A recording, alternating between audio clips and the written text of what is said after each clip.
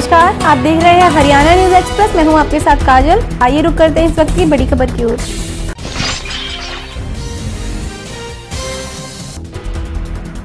हरियाणा के कृषि और किसान कल्याण, पशुपालन, डेयरी एवं मत्स्य पालन मंत्री जेपी दलाल ने कहा है कि हरियाणा को मत्स्य पालन का हब बनाया जाएगा। उन्होंने कहा कि हरियाणा में मत्स्य पालन के क्षेत्र में अपार संभावनाएँ हैं। जेपी दलाल इसी संदर्भ में लाहली स्थित केंद्र सरकार के उपक्रम सीआईएफ सेंटर के वैज्ञानिकों से बातचीत कर रहे थे। जेपी दलाल ने कहा कि प्रदेश के खारे पानी के क्षेत्र में प्रोसेसिंग यूनिट स्थापित की जाएगी ताकि किसान मत्स्य के अपने उत्पाद का सीधा निर्यात कर सकें। उन्होंने कहा कि उत्तर भारत में कोई प्रोसेसिंग यूनिट नहीं है। बीज भी उपलब्ध नहीं है। बीज को हैदराबाद से लेकर आते हैं और वहीं के व्यापारी यहाँ से मछली खरीद कर ले जाते हैं और प्रोसेसिंग करके उसका निर्यात करते हैं।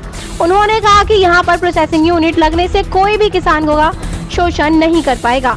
मत्स्य पालन मंत्री ने कहा कि लाहली में जल्द ही प्रयोगशाला का शुभारंभ होगा। रोहतक से हमारे संवाददाता रिंकू परमार की रिपोर्ट। अभी जो है हमारे उत्तर हरियाणा, उत्तर भारत में प्रोसेसिंग का नहीं है, बीज भी उपलब्ध नहीं है। अभी बीज सारा हैदराबाद से लेके आते हैं और वहीं के व्यापारी हमारी मछली को झींगा को यहाँ से खरीद के वहाँ ले जाकर प्रोसेस करके फिर एक्सपोर्ट करते हैं।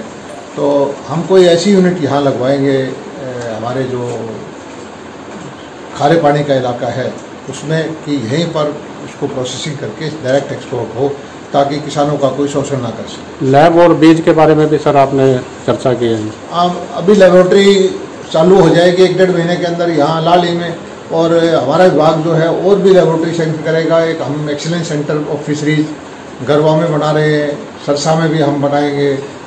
और उससे क्या होगा कि किसान को अब उसका पानी टेस्ट करने में, उसको अच्छी क्वालिटी का बीज में, उसको ट्रेनिंग देने में और उसके जो उत्पादन को सही मार्केट की कहाँ व्यवस्था हो सकती है, सब तरह की हम व्यवस्था करेंगे।